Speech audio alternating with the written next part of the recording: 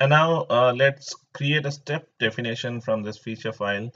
And then uh, if you already have a, a Cucumber plugin installed in your Eclipse, you just need to right click over here and uh, say run as Cucumber feature, right? If you click on it, you're going to see that it will actually going to run the entire feature. So the feature that we have written over here, it's been executed and you can see one scenario, one undefined, 10 steps, done undefined. So we have 10 steps that we need to implement, right? So these are the steps given when, when, when, when, when, when, uh, okay, it has mentioned everything with when, whereas what we have done over here is we mentioned given when and and and that's fine uh we at least got something out of it so what we can do is we can copy the entire stuff from here, right? And we can create a step definition accordingly so that we need, not to write all these things again, write manually. So this is what the benefit uh, of the Cucumber plugin. Uh, so we can write directly go to the step uh, package and we can create a new class where we can say search cars steps. Right and click on finish. And where we can add all these steps over here. Right to import them all in one go do control shift o. And wait for some time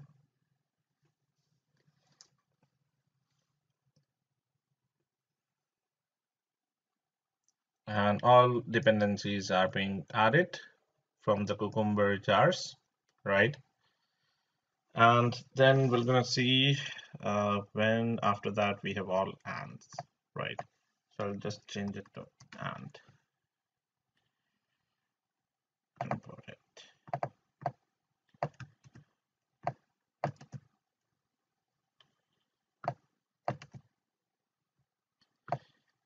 I mean, although it, it won't matter, it, it just, I mean, how it will be reported. When once you look at the report, uh, it'll it'll gonna show all ands over there, right? Then and then, right? Then and the last should be and. All right.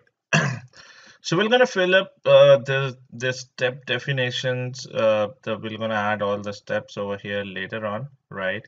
So uh, before that, uh, we need to automate the website and we need to find out the locators, uh, the page locators, and we need to define all the actions, right? And we need uh, to integrate Selenium as well, right? Because we need uh, a Selenium driver, which will actually going to invoke the Chrome uh, browser or the Firefox browser, right? And do all the implicit and explicit waits. All these things uh, we need to integrate it with Cucumber, right? So let's uh, get started and uh, let's the very first thing we should do is to define something called a Selenium driver. So I'll be creating a class over here and I'll name it as Selenium driver class, right? So what all we'll be doing in Selenium driver, uh, we're gonna define our driver. I'll create it as a private static uh, Selenium driver, Selenium driver right. Right so what is the purpose of creating uh, the class reference over here? I'll let you know in some time right? But before that uh, we should uh, initialize WebDriver. So we're gonna say private static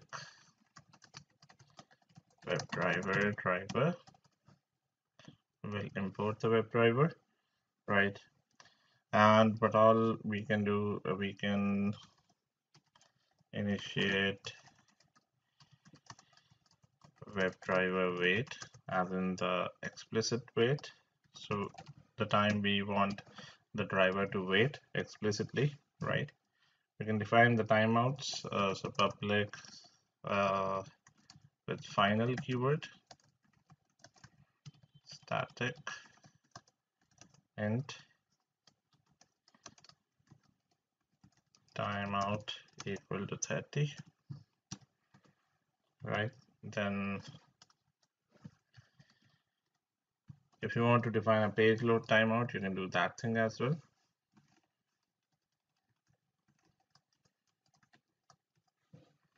To let's say 10 or 50 seconds it should not take more than 50 seconds to load the page right then defining a driver uh, as in we're to create a constructor. And constructor I'll be making it as private right? Why private? Uh, because uh, whenever we wanna whenever we'll be creating an object of uh, the selenium driver class all the time the constructor will be called. And I don't want that if uh, I am actually defining driver equal to new Chrome driver over here. So every time when I create an object of Selenium driver, it should invoke a new browser, right? It should it should create an object of uh, Chrome driver again and again, right? That that that is what I don't want. So this is something called as a singleton pattern that I'm going to implement right now. And what I'll be doing over here is that I will be uh, doing something like a setter and getter where I'll be getting the object of uh, this Chrome driver with the help of a private constructor itself, but within the same class. So how are we going to do it? Uh, just be with me for some time. It will be very much clear to you. Let me design this class and then uh, I'm gonna make you understand how uh, that thing will gonna work. Right. So uh, over here right now I'm hard coding Chrome driver. We can get it based on a condition as well uh, like whether to launch Chrome or whether to launch Firefox right? But so far we'll let's uh, first see that how we can integrate Selenium with Cucumber and try to run our very first test. Later on we can do all these things, right? Run it on a Firefox, run it on IE, run it on different browsers, right? So let's first target Chrome Chrome browser, right? Then I'll say driver dot manage dot window dot maximize. I'm gonna maximize the window. Right, waits as well. I can define it over here. Web driver wait equal to new web driver with driver and the timeout that we have defined earlier. Right. Same way uh, if you want to define the page load timeout as well so say driver dot manage dot timeout implicit wait implicit wait will be your timeout. We'll define it for 30 seconds. We'll say time unit dot seconds. And same thing we're going to do it for uh, page load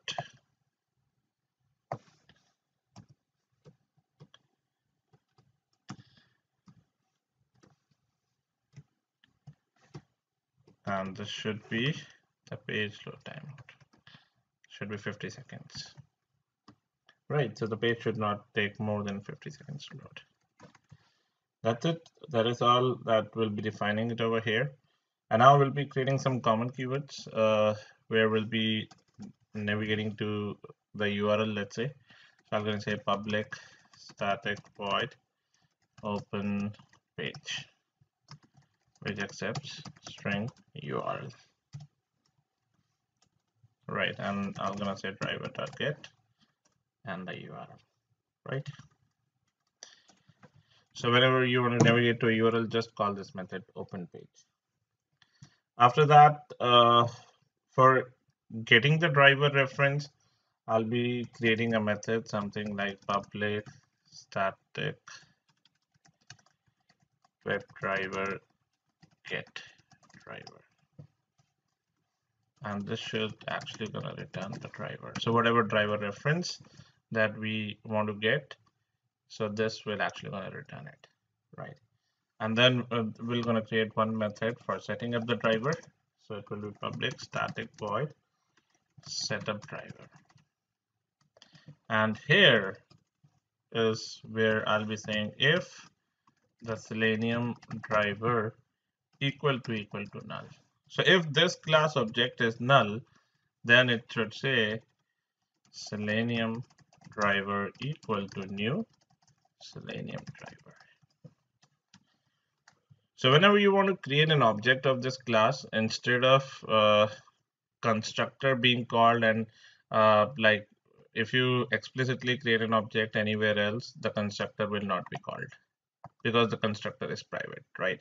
So whenever you call this setup driver method, this will actually gonna call the constructor and will create an object of uh, the Chrome driver. So this method will be responsible for doing it, right? How this will gonna work? Uh, once we start designing our test, then I'm gonna show you how this will gonna work, right? So for the time being, let me uh, complete these methods, whatever common methods that we need to create. So this will actually going to act as a base class, right? So this will also going to have a method for public static void tear down method. And tear down approach, I'm going to say if the driver is not equal to null. If the driver is not null, then say driver dot close should close and driver dot quit should quit the session and make selenium driver equal to null. So this should end the session. Right. So these are some of the common methods uh, so far that we have created. We may be adding some more methods, more functionality, more utilities, right? And let's see anything else that we are missing. Okay.